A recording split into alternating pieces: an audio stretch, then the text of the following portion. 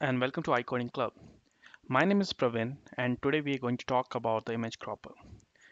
Now image cropper can come in a different way and style. Today we're going to talk about uh, the fixed selection approach uh, where the aspect ratio of the clock, uh, cropped image is fixed. There's another article in the left side where it says a flexible selection. You can actually check out this article if you want a flexible selection approach. But today we're going to talk about the fixed selection approach. Now, what is the fixed selection approach? The fixed selection approach define and describe uh, the aspect ratio of the cross image before. So you can actually drag drop the uh, drag the image out. You can actually zoom it, but the aspect ratio of image crop image will not change. So if you see this image, or if I go back, zoom out and show here, the aspect ratio of the both the cropped image is still same. Now you may wonder what is the advantage of this. This is the this is the very nice cropper. It just can be used uh, where the you know at the top of a blogger page or of you know a Facebook profile page where you're actually showing the your image. You always find the length and breadth of that particular section is always constant. You can't change it on those places uh, this fixed aspect aspect ratio image cropper is very very helpful. So before I start explaining you know how things work let's let's see what we have in this page. So yeah we have the demo. You can actually drag and uh, try it. After that yeah there's a placeholder for video which I'm building right now. There's a code which you can copy in you know the, the whole code and it will work uh, or you can copy in the section the way you want. And at the bottom we have uh, some related article on the iCoding Club. Uh, the first one I already talked about is the flexible selection approach. The second one is actually not the cropper but it's helpful because in the real life you might want to upload the image first and then crop it and then you actually want to send to the server. Now there is a pre part of it, the upload part of image. There is a uh, post part of it where you are actually sending to the server. This article actually explain the pre and post part of it. But right now let's stick to this article and let's dig into the code, you know, how it works. So let's complete the the EG part of it, the, the HTML. It's pretty straight. The table layout to display uh, the canvas and the right side where uh, right side placeholder of image. Then we have the HTML5 uh, slider or the range input. And there when we start about the code part of it. Now code is divided into two part. The one is the animation part of it, which take care of drag uh, this dragging thing and the second part is definitely getting the data out of, of this canvas and creating the image out of it. Now to understand the, how this animation work let's talk about the animation first. We have to understand that most of the UI animation based out of three function or three events mouse up mouse down and mouse move let's see if I want to create this kind of animation how I will do you know. I should be when I'm clicking when I'm doing the mouse down I really want to record where actually I actually uh, did the down mouse down event you know the coordinate of it. When I'm moving it while I'm pressing the mouse I want to understand I want to know in the code how much I moved. So what if from the original place I get the delta of how much mouse moved. That might give us or actually that will give us the delta you know how much uh, image I want to move. And fourth is yeah mouse up which will stop the process. Every time we do anything any changes on the UI we are actually creating the the whole canvas back again so that start the redrawing of this image on the canvas from this particular point that is the, the origin point of the canvas. We redraw the image depending on how much user moved. Then we build this outer uh, you know cutout. And this is the way it works so post explaining you know what we're planning to do let's dig the code. You can see the few of the point as the base x base y last point x last point y. Describe you know most what I just explained that the initial coordinate and the last coordinate. As I said there are three methods which are most important. That is mouse down mouse move and mouse up event I will come to the part of the draw image uh, where we actually creating the image on the canvas but let's let's talk about the, the animation first. So what we're doing on the mouse down? The mouse down we noting down where the user actually clicked or landed on the canvas.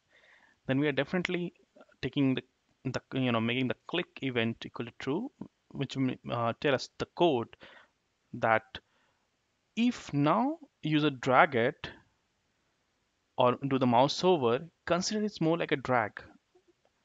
Let's talk about one more time. You know, the click event equal to true, uh, click equal to true plus the mouse movement is equal to drag. Now what mouse moves does it's, you know, it's if we uh, and the user already clicked then is keep drawing the image. What I'm trying to do is I'm, I'm, passing the the current location of the mouse to the draw image. We have to see the draw image part of it to understand you know how actually I'm drawing the image. Just quickly complete the third event also because we are not doing anything special there. On the mouse up we're just making the click equal to false. Let's let's talk about the draw image which is the most important method to draw the image on the canvas. As I said, what we have to identify here is the delta of the movement. How much user moved his mouse while pressing the mouse. The, the basic thing first, we're clearing the canvas.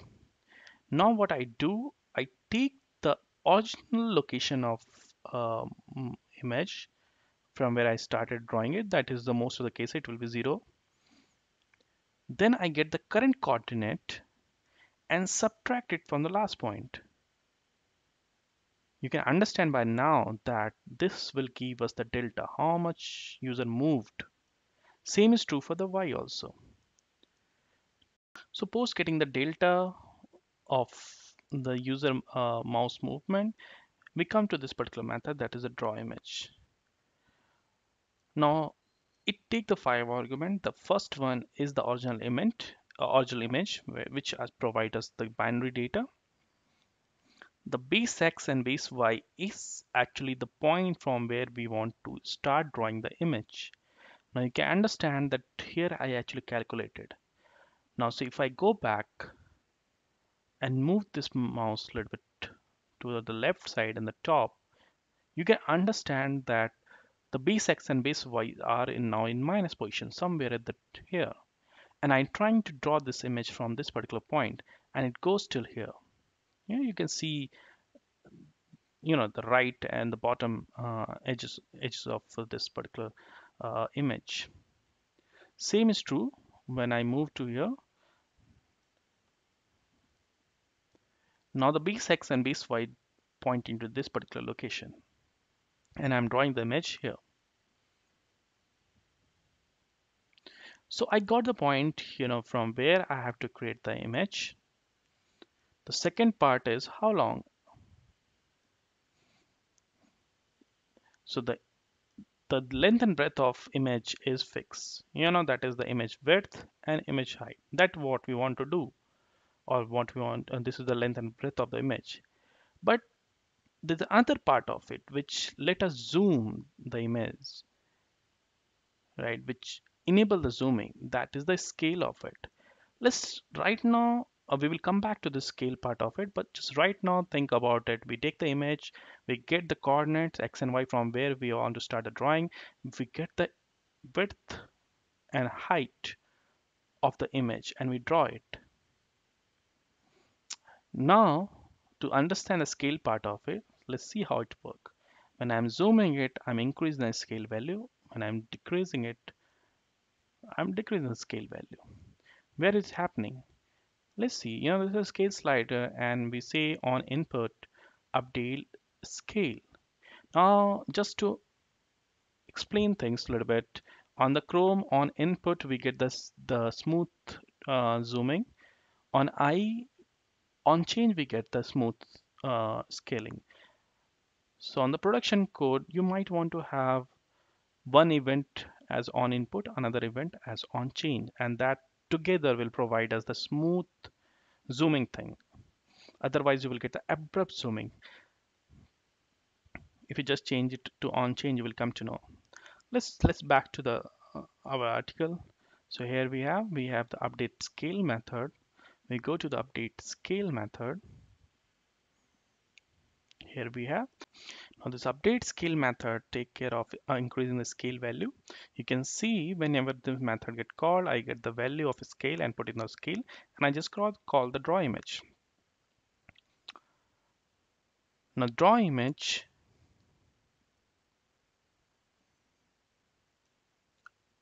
take the updated value of a scale, multiplied it with the initial width of image and let's say 100 by 100 image turn to 200 by 200 or 300 by 300 and that will give us the zooming effect on the canvas. However when we are cutting the image you can see that there is a uh, the cut method. Yep here we have. Here what we're doing is we're getting the we are, we are creating a temporary canvas and we are providing the canvas right away. Understand the fact that you can actually provide the image as the first argument or the canvas as the first argument. Why canvas in this time? Because if I pro provide the image I have to identify you know from where I have to do the cut. That include this delta I have to take care of zooming uh, when I'm doing the cutout when I provide the canvas, I'm pretty sure that I have to start cutting this image or the canvas value from this point to this point here and this one. Pretty straight. No uh, uh, extra calculation or uh, complexity involved uh, if I provided the image uh, in place of canvas. So we just to avoid all those things, we are providing the canvas.